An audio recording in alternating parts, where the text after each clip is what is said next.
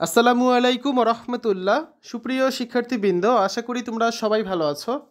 এই ভিডিওটা তৈরি করছি ষষ্ঠ শ্রেণির শিক্ষার্থীদের জন্য। দুই হাজার চব্বিশ সালে ষষ্ঠ শ্রেণির গণিত বার্ষিক পরীক্ষার প্রশ্নপত্র নিয়ে আজকে আলোচনা করব। শিক্ষার্থীরা, তোমরা জানো যে এনসিটিভি থেকে হচ্ছে একটা নমুনা প্রশ্ন দেওয়া হয়েছিল, যার সমাধান আমাদের চ্যানেলে দেওয়া আছে।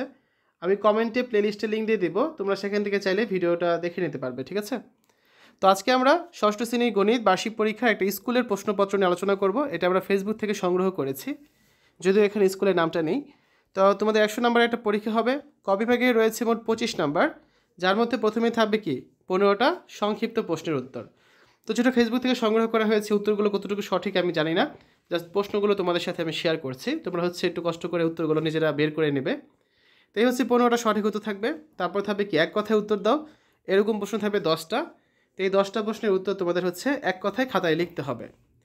এরপর আসো খ বিভাগে থাকবে তেরোটা সংক্ষিপ্ত প্রশ্ন।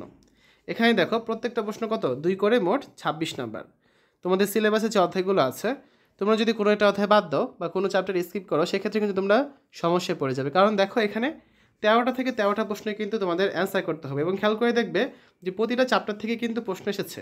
শুধু এই স্কুলে না, তোমাদের স্কুলের ক্ষেত্রেও প্রতিটা অধ্যায় থেকে কিন্তু প্রশ্ন করা হবে। তাই কোনো অধ্যায় বাদ দিলে তুমি কিন্তু সেই প্রশ্নটা অ্যান্সার করতে পারবে না। আর তোমার অতিরিক্ত কোনো প্রশ্ন থাকছে না। তাই দেখা যাবে সম্পূর্ণ অ্যান্সার তোমার করার হচ্ছে না। তাই সম্পূর্ণ সিলেবাসটা শেষ করে যাবে। গ বিভাগে থাকবে প্রেক্ষাপট নির্ভর প্রশ্ন। এখানে তোমাদের সাতটা প্রশ্ন অ্যান্সার করতে হবে। প্রতিটা প্রশ্ন সাত করে মোট হচ্ছে উনপঞ্চাশ নম্বর।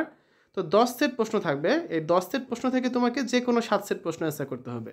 সো এখানে তোমার সুযোগ রয়েছে যে তুমি যে চ্যাপ্টার ভালো পারো বা যে অঙ্কগুলো ভালো পড়ো, সেগুলো অ্যান্সার করা। তোমার যে কাজ, তুমি প্রথমে দৃশ্যপটগুলো দেখবে।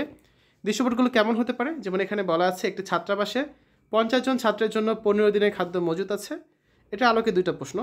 আবার এখানে বলা আছে কি, ক ক্ষয়ের বয়সের অনুপাত চার, অনুপাত তিন কয়ের বর্তমান বয়স ষাট বছর। এই দৃশ্যপটের আলোকে দুইটা প্রশ্ন। অর্থাৎ দুই এক লাইনের কোনো তথ্য থাকবে, যার আলোকে দুটো করে প্রশ্ন থাকবে। তোমাদের কাজ হচ্ছে দৃশ্যপটগুলো দেখে কোন প্রশ্নগুলো তুমি অ্যান্সার করতে চাও সেগুলো যাচাই করা। অনেক ক্ষেত্রে দৃশ্যপটে এরকম রাশিও থাকতে পারে, আবার অনেক সময় দেখবে ছবি থাকবে, যেমন এই দেখো, এখানে দৃশ্যপটে ছবি রয়েছে, ঠিক আছে? আবার অনেক সময় দেখবে উপাত্ত থাকবে, তারপর এরকম সারণী থাকতে পারে। তো এভাবে হচ্ছে দশ সেট প্রশ্ন থাকবে।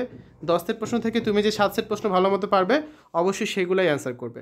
তো শিক্ষার্থীরা, আজকের এই ভিডিওতে আমরা ষষ্ঠ শ্রেণির গণিত বার্ষিক পরীক্ষার একটি স্কুলের প্রশ্নপত্র নিয়ে আলোচনা করেছি।